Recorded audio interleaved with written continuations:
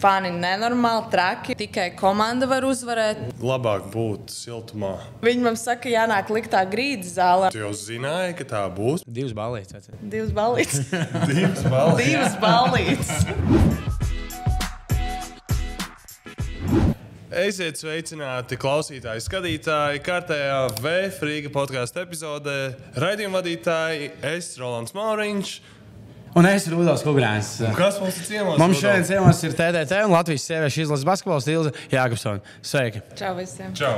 Klausies, sākumā jautājums, kāpēc no Valmieras nāk tik daudz labu basketbolistu?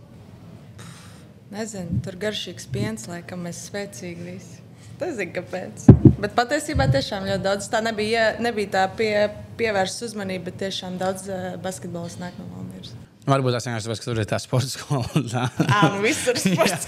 nu, nē, nu labi, tur ir ok, sporta skola. Kā, nu, jo, nu, nu, nav no citām. tā Kā, nu, Bet starp citu par sporta skolām, kas ir noticis? Varbūt tās jūs kāds zināt. Es tikai tā, pirms mēs sākām. Es skatījos, vakar bija ieliks Twitterī. ā, Kā ir sadalīts, kā medaļas izcīna gan meitenēm, gan puišiem. Elijā Belģijas sporta skolas. Tur Valmieras tā bērnu sporta skola gan meitenēm, gan puišiem daudz. Bet ne puišiem, ne meitenēm šogad neviens top 3 finišs nebija Vēnspils ā, sporta skolē. Taču kādreiz Vēnspils, es esmu atceros, kad es trenēju, taču Vēnspils vienmēr visās vecuma grupās kaut kur tur laikā top 3 toči. bija. Jā. Manā laikā, manā laikā, mana sporta skola, mēs spēlējām pa otrām divīzijām, manuprāt, lielākoties. Jā, mēs tikai reti, kad pirmajā divīzijā spēlējām. Un Vēnspils vienmēr bija top Jā, komanda. un arī puišiem Vēnspils bija tā kā tagad, man liekas, tāpēc vienkārši tur vairs neviens nedzīvo pa īstam, un tāpēc vienkārši nav kam trenēties, un tāpēc tas ir beidzies lēnām. Klau, kā tu izdomāji pievērsties basketbolam? Um, Nīs nebija varianti. Tētis spēlēja basketbolu, māsa spēlēja basketbolu, māma spēlēja handbolu. Es savu veidu uzaugu zālē un uh, sekoju māsai. Laikam. Tas bija tas, tas uh, kāpēc es izvēlējos tieši spēlēt. jā. Tas ir tās māsas zeme. Zanējā. Zanas loma ir. ā, tad Tas ir Zanas nopelns lielu. Ļoti liels zvaigznes nopelns. Vispār es esmu šajā pasaulē dēļ viņas. Jo viņi, Jo, piepras, ok. jo viņi pieprasīja vecākiem, ka viņi grib māsu. un lūdzu, Pārīgi partneri. Jā. Bet, ja būtu Tikai tā kā- mums liela atšķirība gadu. Desmit Viņai gadi. baigi nesanāca sparingot. Ja būtu būt piedzimis brālis, tad būtu jāturpina, tā kā kamēr ir māsa. Vai? Es nezinu. ja viņa Tas jau ja zanai viņa ļoti konkrēti tas pieprasīja, es jāprast. esmu māsa. Uh, Māma negribēja, lai tu esi handbolā, vai handbols vienkārši nelikās interesants. Um, manuprāt, handbols nebija vispār Ah? Valmērā tāds vispār. Nemalās. Un vienu gadu mammai bija piedāvāts, viņa bija treneris vienu gadu, bet tikpat ātri arī pazuda. tas viss. Es patrenējos tur, bet man īstenībā nepatika. Man liekas, ka tur visu laiku nostaigāts, jo tur tie trīs soļi, Jā, liekas, un dribbles. Un es nesapratu, kas tur jādara vispār. Vai tev ir arī kādi elki basketbolā augot? Piemēram, Denis Rodmans. Tas bija mans augs, piemēram, basketbolā augo- augot. kā- Nē, nu man Jordans ļoti patika. No sievietēm es ļoti man patīk Anita Jākapsona žogot. Protams, tas laikam Jā. visiem, nu, tā kā, man liekas, pat šādiem dažiem Aleks bija jākāpjas un žogā Jā. auga. Eh, Tagad, ap citu, jā, jautājums. Pirms mums bija Elīna Babkina šajā intervijā. Un Elīna Babkina bija, viņa bija viena no tām tā dāmas sportistēm, kad viņai tā prasīja, vai tu seko līdzi kaut kam, kas vispār notiek nu, ārpus tā, ka tev jāspēlē basketbolā.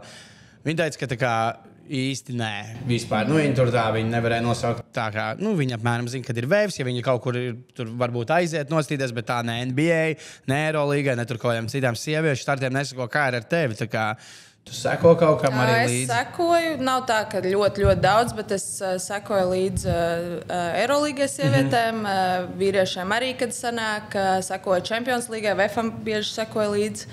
Um, jā, un Eirokausam. Ok, tad šeit NBA nē. Nē, nu man ļoti patīk gulēt, un lai es celtos naktas vidū un skatītos NBA, tas nav priekš Es arī manis. gribētu tā mācīties. Es nezinu, es to daru, diemžēl. Bet tagad var skatīties uh, arhīvā. Bet, ok, jā, tad šis ir mazliet savādāk kā Elīnai. Jā, Varbūt par Elīnu jau mēs. Mm -hmm. nu, tā vai.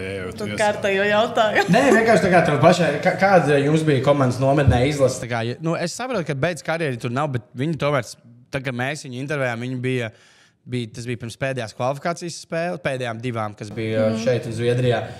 Un, nu, viņi tur tā runāja par to izlasi, cik tā kā arī svarīgi. Un arī viņi jau runāja, ka viņi jau ir priecīgi, ka ir garantēts tas Eiropas čempionāts un ka pēc tā pārtraukuma brauks.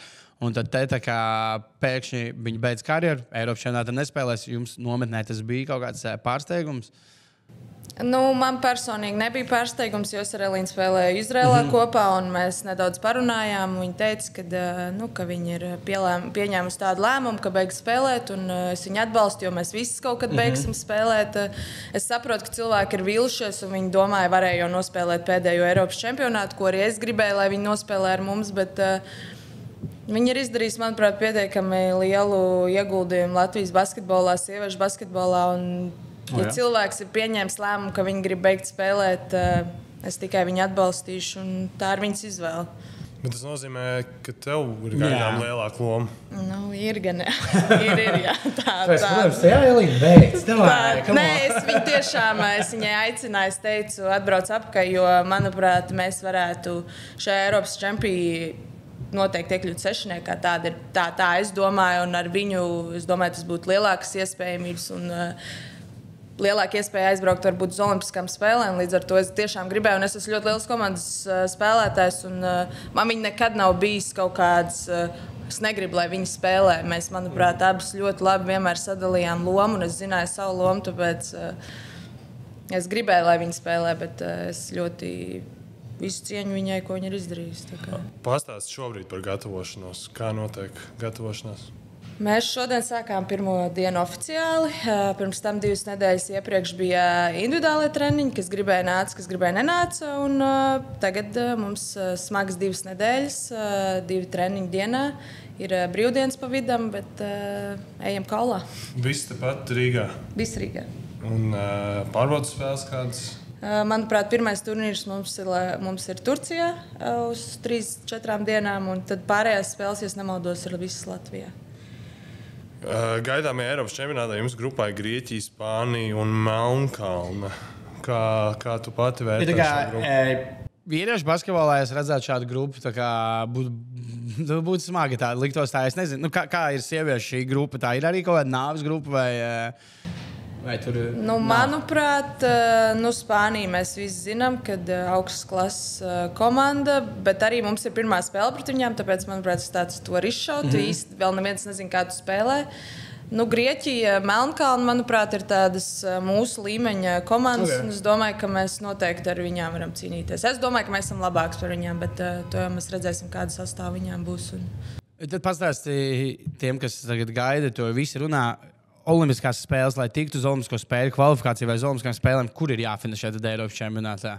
Nu, manuprāt, sešniekā ir jābūt. Ir tas, kur, jā. ja, ja Francija, protams, ir sešniekā, tad sešnieks, bet tā pirmās piecas. Ah, jo Francija ir. Nu, es domāju, ka Francija būs mm -hmm. uh, četrniekā noteikti, un tad līdz ar to sešniekā jābūt. Ir. Kā tu atceries 2008. gada Olimpiskās spēles sieviešu basketbolā?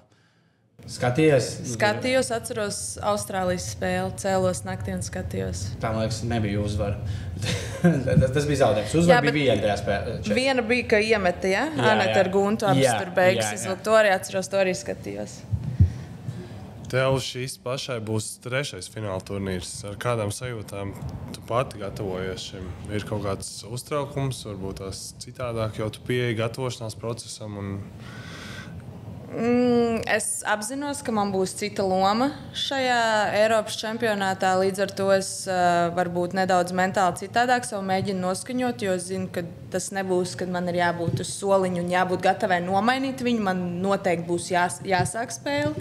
Līdz ar to nu, neko lielu nemainu. Es galvenais gribu, lai meitenes kapā, lai meitenes ir pārliecinātas par to, ko mēs darām, un uh, lai ir tā kopības sajūta, un lai mēs spēlējam kopā. Jo, manuprāt, tad jau, tad jau viss aizies un saliksies. Un šis viss sākās jau ģērbtuvēs, vai ne? Protams, viss sākas ģērbtuvēs. Tad par tevi tas ir tā kā. Tad arī tad, kad tev nav bijusi liela loma, tu esi bijis viens no tiem cilvēkiem, kas ir vienmēr bijis uz soliņa arī simtprocentīgi iekšā. Ja?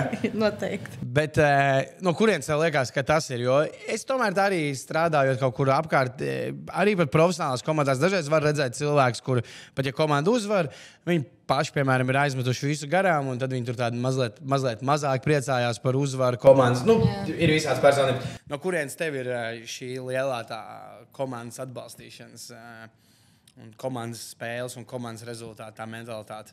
Es tiešām nezinu, no kurienes man tas nāk, bet es vienmēr esmu uzskatījusi, ka tikai komanda var uzvarēt mm. lielas lietas. Un, uh, es nekad, protams, konkurence ir komandā treniņos. Es neļaušu sev tur darīt pāri vai vienalga ko, bet tomēr mēs spēlējam kopā. Es zinu, ka katrs cilvēks, kas ir uz soliņa, ir ļoti, ļoti svarīgs. Mm -hmm. Un, ja tīpaši parasti, kad es spēlēju laukumā, es arī meitenēm saku, man vajag jūsu enerģiju no soliņa, jo tas ļoti, ļoti, tas ļoti palīdz komandai. Bet kāpēc es to daru? Es nezinu. Es laikam, tā, tā, nu, tāds vienkārši. Man vienkārši sanāk tā. Man vienkārši tas, ka bija māsa jāatbalsta, ka tu biji. nu, varbūt. es nezinu, tā kā pieredze. Um, Jā, nu par Eiropas čempionātu laikam. Laikam kas, kas, kad startē Eiropas čempionāts? Uh, 15. jūnijas. Jūnijas. Atdev, nekas nav daudz palicis. Tieši mēnesis. mēs Tieši mēnesis. Jā.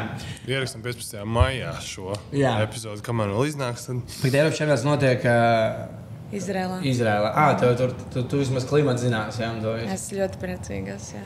Bet kā tev ir to klimatu izjūtu uz sevi? Tev ir labāk būt siltumā, nevis tā kā šeit, ka Latvijā ir 9 mēnešu augstums.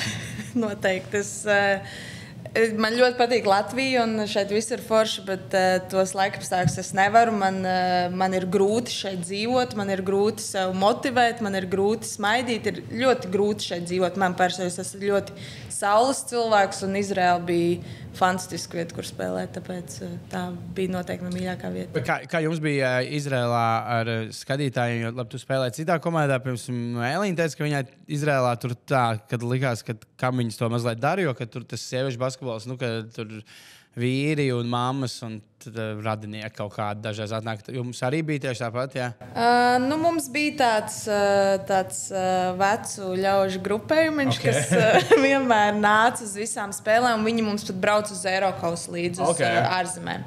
Uh, bet jā, nu, lielākoties tur jā, ir tikai jāatnāk bērni no sporta skolām, tad ir pilna zāle, mm. bet baigi cilvēki nenāca Izrēlā uz spēlēm. Tu esi bijis, kur, kur, kā, kur tev visvairāk izjutusi klubos, spēlējot uh, skatītāju kaut kādu atbalstu? Tieši kur, nu, kur tu esi bijis, kur sieviešu basketbols ir līdzies tāds, vai arī, piemēram, braucot izbraukumos, spēlēt, kur ir līdzies tāds, ka ir vislielākais kaut kāds hype, ažiotāžs par tām spēlēm, vienalga Eiropas vietējā čempionātā.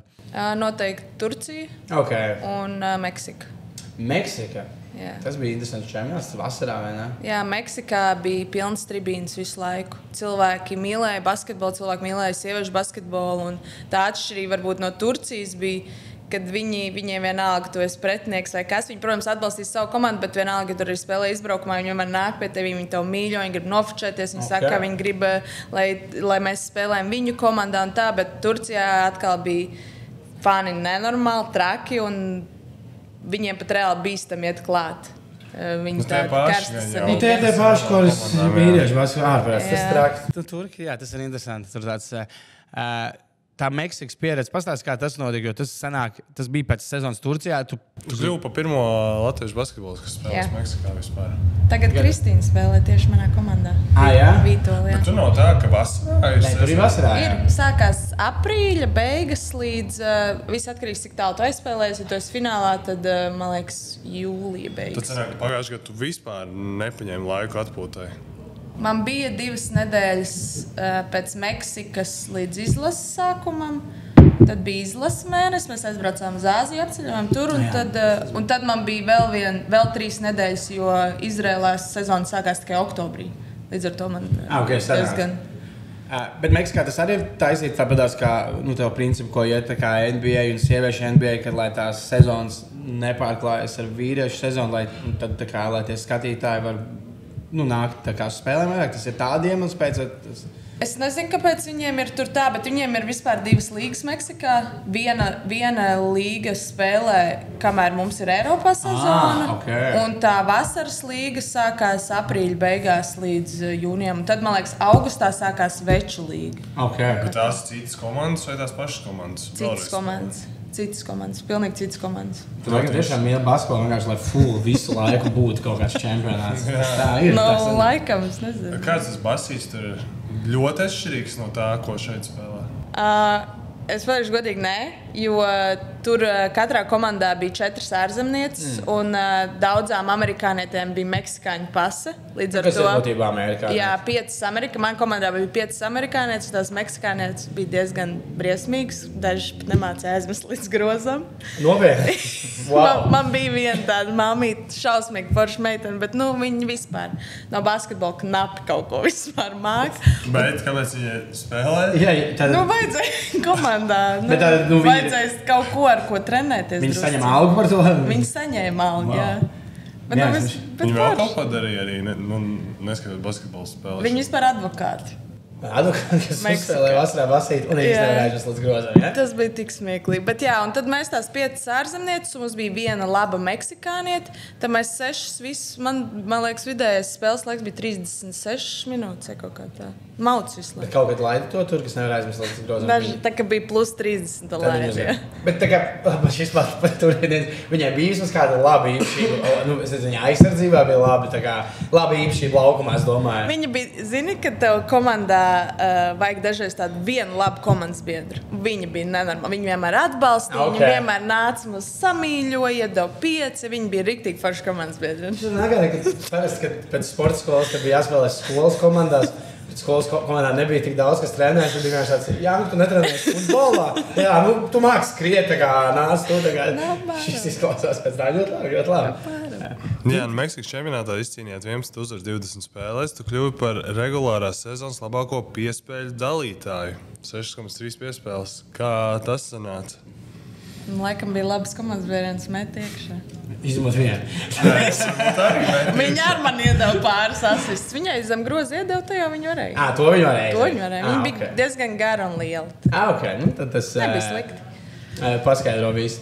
Tu plāno vēl kādreiz tādu sezonu paņemt, kad, nezinu, varbūt nebūs izlase eh, vēl kādreiz uz Meksiku? Noteikti. Viņi man piedāvāja šogad braukt atpakaļ, bet es teicu, ka nu, es izvēlējos izlasi. Mm -hmm. un, uh, un es teicu, ka nākošais vasaras noteikti ar lielāko prieku atgrieztos, ja viņi man grib. un Tad mēs sarunājām iespējams par nākošo vasaru. Tagad uzsāki profesionāls gaitas. Tu, starp citu, uzsāki cēlus komandā. Nav starp Valmēru un Cēsīm tāds bijis tāds beefs. Jā, oi, nu, kāpēc aizgāju uz Cēsīm spēlēt, ja Valmēriet? Valmjerā nebija sieviešu komanda profesionāli. Nu, tā kā, Bija tā. Bija kaut kāda, es nezinu, otrā līnija, tā Jā. skaitījās, ka sieviešu līnija bija kaut kāda spēlē pie Alvila Kaufmaņa. Tur bija arī vecāks mm -hmm. spēlētājs. Uh, bet uh, nē, viņi nebija, jo es spēlēju augstākā līgā un es spēlēju jaunatnē pie Valmieras. Man bija Tā kā 17 viss gadi. piedod. Vai nebija doma uz Ameriku braukt studēt? Bija, uh, bet es nevarēju, nemācīju runāt angliski. Nopietni? Tāpēc es neaizbraucu. Nobijos. Mm. Bet tagad tas viss ir kārtībā ar Angelu. Uh, jā, pateicoties vienai komandas biedrenei, kas bija ļoti pacietīga ar maniem. Uh, Vācijā mēs spēlējām kopā. Viņa man uh, reāli iemācīja visu angļu valodu. Jo, kad es aizbraucu pirmo gadu uz Vāciju, es uh, palielam knapi runāju angliski. Es arī neko nesapratu. Katram uh, amerikānietēm ir savs uh, akcents, vai kā saka, jā. Nu jā, Slangs, akcents, jā, kā viņi tur runā. Un tas pirmais gads bija diezgan drausmīgs. Jo daudzreiz, kad viņš kaut ko runāja, maniem nesapratu. Es vienkārši teicu, jā, un tad es reāli trīs stundas braucu viņām mašīnā kaut kur, kur viņas man, viņas man ir pateikuši, kur mēs brauksim. Es esmu vienkārši pateikusi, jā. Bet tev vismaz bija pārsteigums, ka, oh, okay, mēs braucam ēst, izrādās. Nu, jā, apmēram tā arī bija. Un tad man tāds, blēņas, man gribās mājās. Bet nu, es nesapratu. Un tad otrajā gadā, jā, tā viena komandas man uh, pacietīgāk tā runāja ar maniem un uh, teica, lai es nekautrējos. jo Es biju ļoti, ļoti kautrīga par to, kas neprot runāt angliski. Un tā arī viņi man iemācīja. un Tā arī visus tos gadus Jā. sanāca. Jā, tas savs leģionārs gaids uzsāka Vācijā. Vai sieviešu basketbolā ir līdzīgi kā vīriešu basketbolā, kad Vācija ļoti ceļ uz rokām par to, cik ļoti tur viss ir labi norganizēts un kādi tur ir ļoti labi apstākļi? Vai, vai... Es vienkārši domāju, ka tā intervijā dzirdēju, bet, bet es gaidu atbildību. Pastāstiet, pastāstiet to, kāda gāja Vācijā, un kāda ir organizatorisko līmeni. Un vai sanāca izbaudīt, kas ir profesionāls basketbols ārzemēs? Noteikti nē. Uh, pirmajā gadā mēs dzīvojām. Um, Pirmkārt, ārpus pilsētas uh, mājā, uh, kur mums Kurā bija. pilsētā bāzējās komanda? Pirmajā gadā es biju Freiburgā, kas mm Mhm. -hmm. ir tuvu uh, Šveicē un Itālijai, Francijai. Visiem. Nu, tur jā, Jā. tas. Un uh, pirmo gadu jā, mēs uh, braukājām 40 minūtes, bija jābrauc līdz treniņiem, vai stundu vairāk. Uh, divreiz dienā mēs trenējāmies. Uh, pēc spēlēm, kad tu nospēlē, ir eh, jāsakop zāle. Pašiem. Jā, pašiem jā, jānovāc visas reklāmas. Uh, man pat bija jātīra visas tribīnes, ko cilvēki piemētājuši ar ēdienu un tā tālāk. Wow. Un vēl jāizslauka zāle, un tikai tad var braukt. Bet tā zāle, tad sanāk, nav komandas zāle. Tā ir kaut kāda. Tā bija universitātes zāle tajā, tajā gadā. Un otrajā gadā mums uh, bija pirms spēlēm jāsagatavo zāle, kad bija Eiropas, mums bija jāliek uh, koka grīda virsū. Kas bija Tā kā parkets jāieklāj vai kā. Jā. Tā kā arēnas Rīgas Jūs, darbinieki. jūs pēc- zināt, tās, Jā, viņiem ir tās plāksnes, tās Jā. koki. Nu, viņas nenormāli smagas ir. Tur reāli mēs pa trīs meitenēm cēlām lejā, un tad to, kā sauc to, kur ieskrūvē skrūvi iekšā. Nu, tas ir elektriskais. Nu, skrūmišķi. Nu, vienalga, jā, nu, mums jāsaliek kopā. Viņi mums parāda, mums visām jāsaliek Kāda kopā. treneris pamācīja, vēl ir. Nu, ir- Nē, tur ir trīs čaļi, kas atveda lielo fūri, tās, tās Dē. plāksnes. Ā, tur izkrāja viss. Izkrauju, mēs viņus pēc tam liekam uz zālē, uz grīdas, un pēc tam ar kubulu sitam, lai viņš uh, klāt, lai nav spraugas. Un tad nākošā dienā pēc spēles jāvāc astoņos no rīta. zināji, ka tā būs. Nezināju.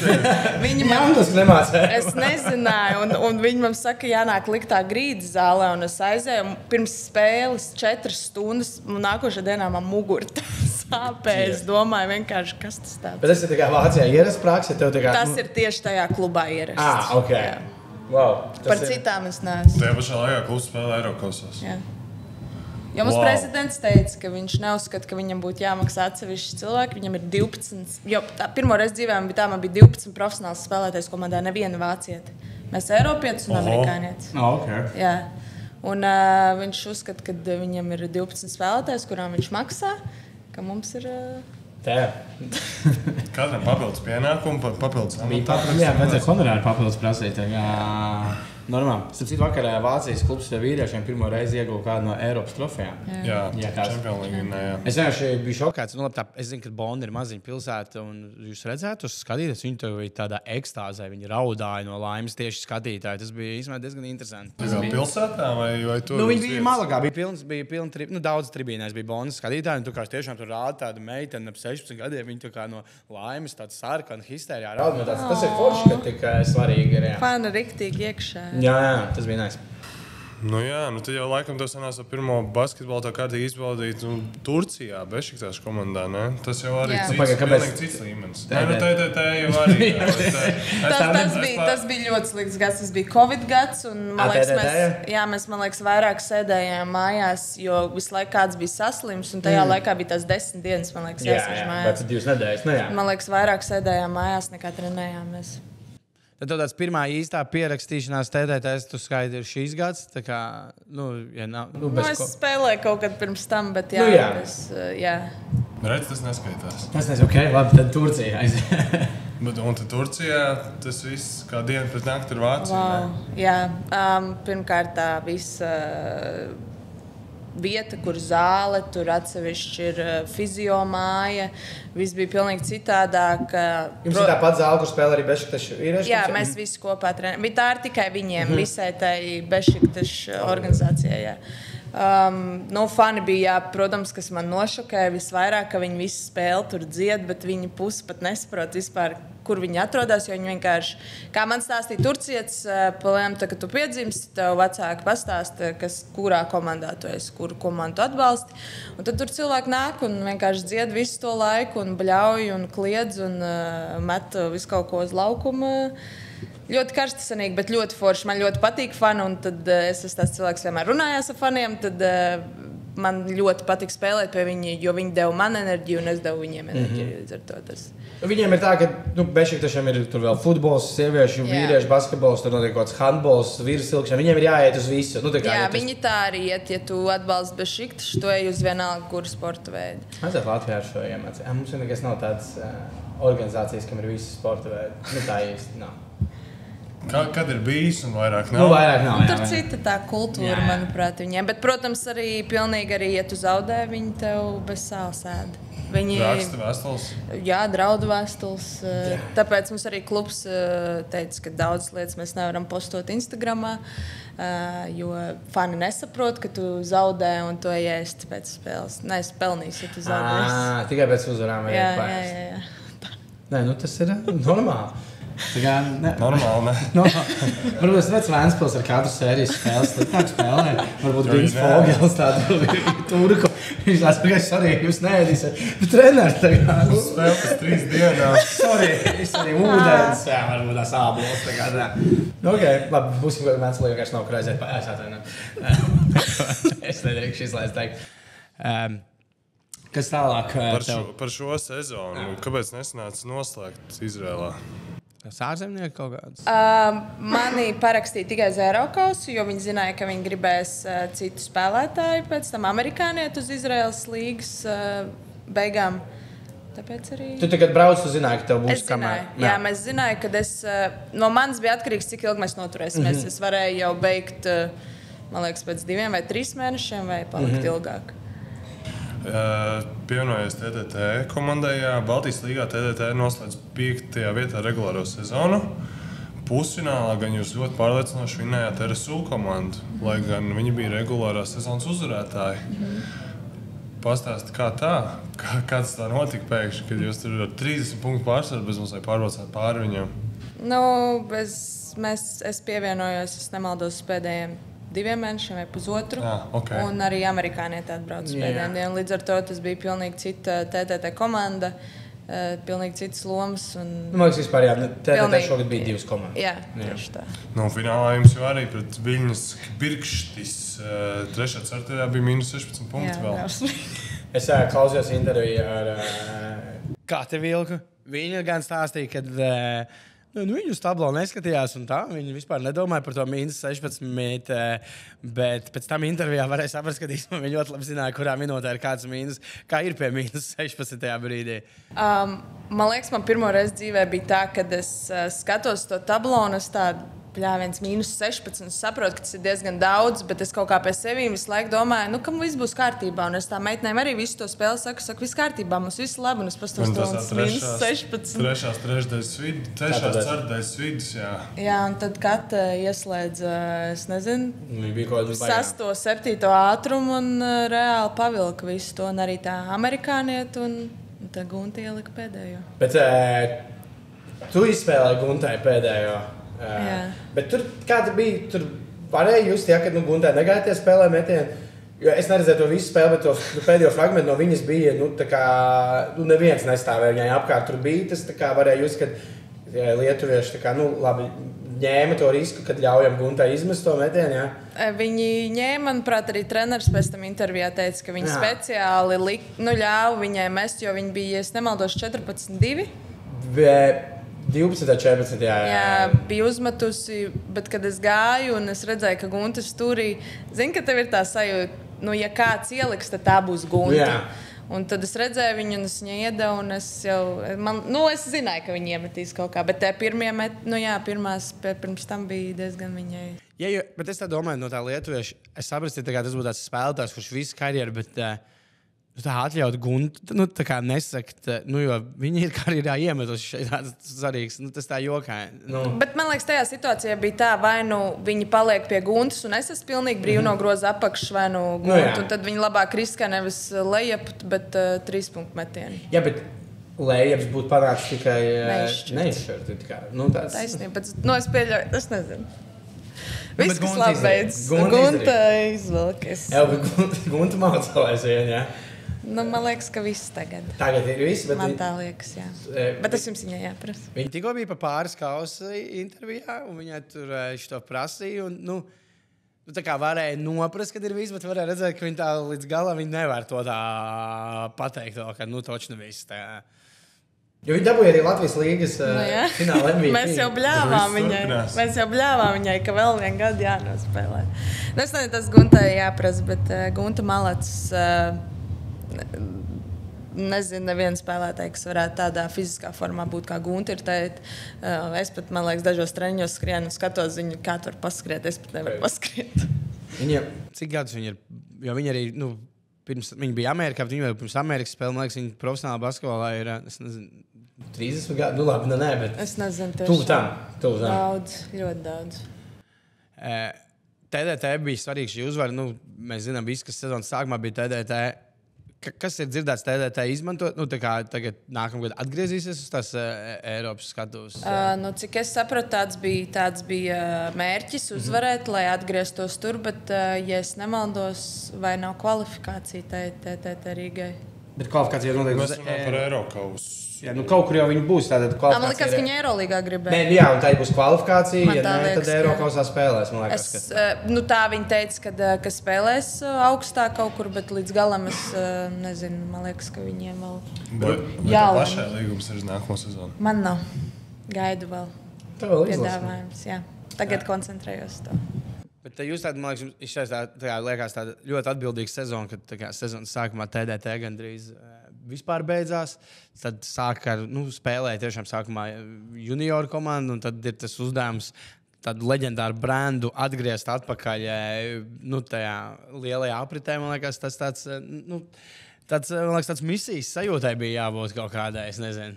Nu, bija arī, kad treneris ar maniem runāja. Viņš jau teica, mēs esam paņēmuši tevi un amerikānieti viena iemesla pēc uzvarēt mm. uh, čempionu uh, titulu. Tā kā Labi, ka visu izpildījām divreiz. Tad, Jā, tas, tas, tas galvenais.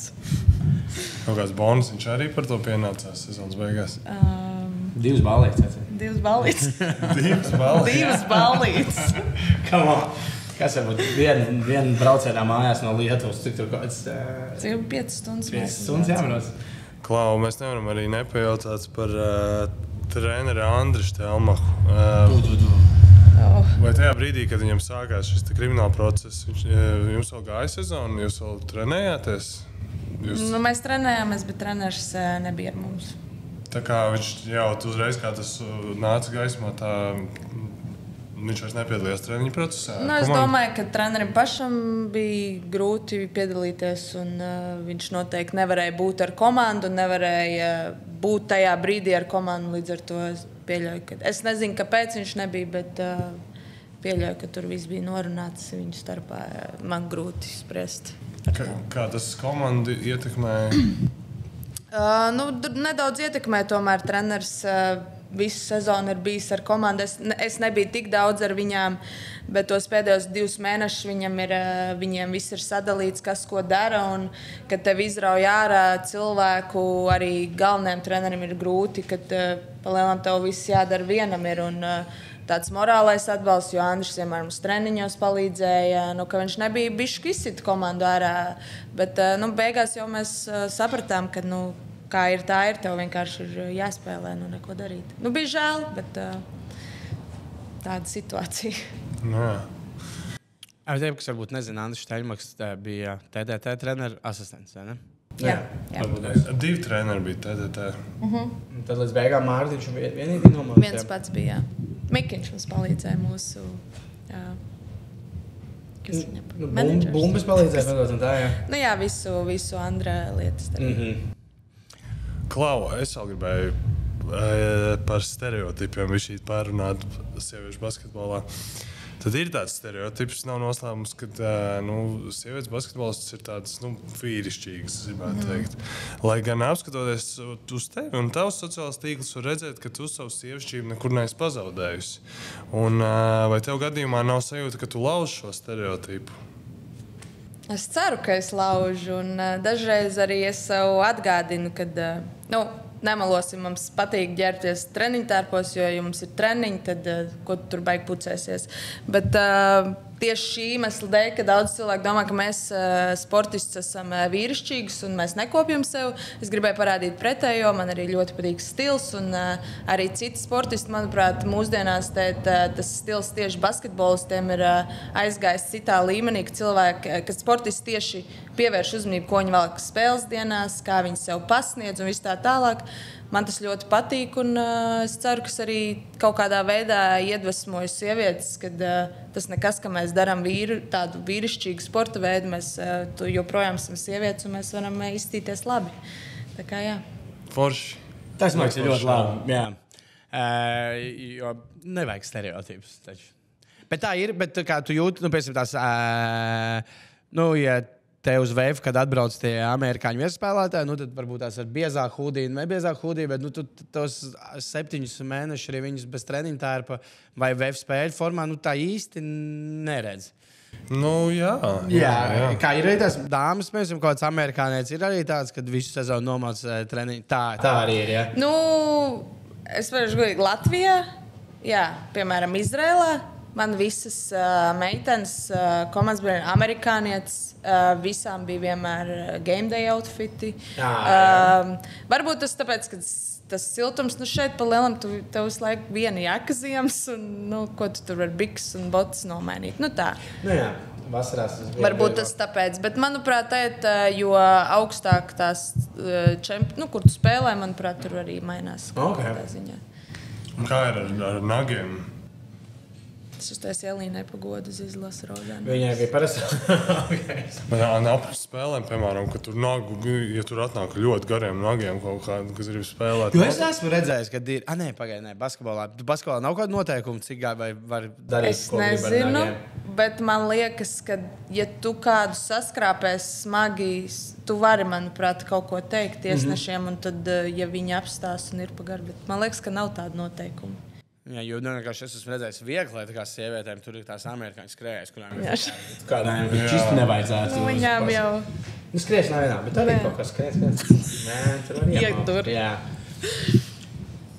Uh, kas uh, tev vēl ir tur uh, sarakstīts?